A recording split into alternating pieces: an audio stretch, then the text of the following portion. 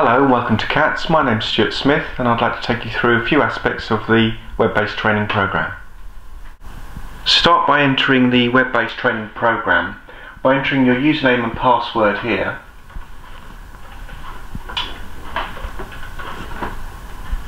This will have been emailed to you by the CATS team. Then press go or enter on the free demo login lower down here.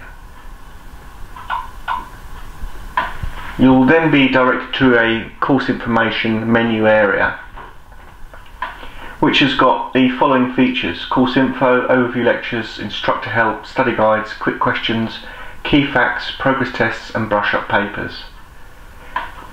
These panels are also featured in the lower menus here. If you click course information you can download everything that you need to complete your course and if it's an ATPL course there is a printed application form or you may have already chosen your course via the online application. CATS course direction notes for every subject. Course information, extra things you'll need to buy. Standard answer sheet for you to practice answers for tests on and a study schedule. There also is a CA document library, payment form for the exams, how to book the exams, the actual exam application form.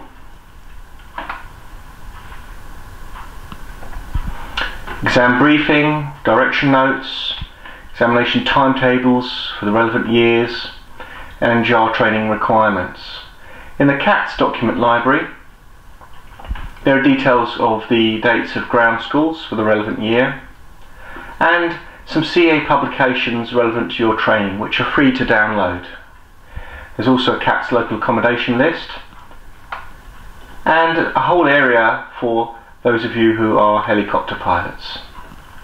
So let's go back up here now and have a look at the course direction notes for human performance and limitations. Clicking on that will download a PDF file which you may print off or save to your computer.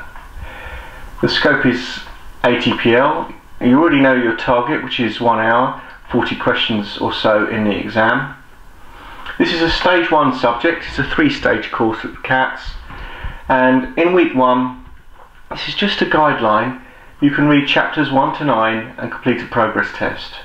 In week 2, read chapters 10 to 18 of the HPL study guide, then complete another progress test. After that you'll be studying other subjects which will be detailed in other course direction notes in stage 1. Then you'll reach week 9 and 10 where you revise weak areas and leading up to week 11 and 12 where you'll actually come to a residential ground school.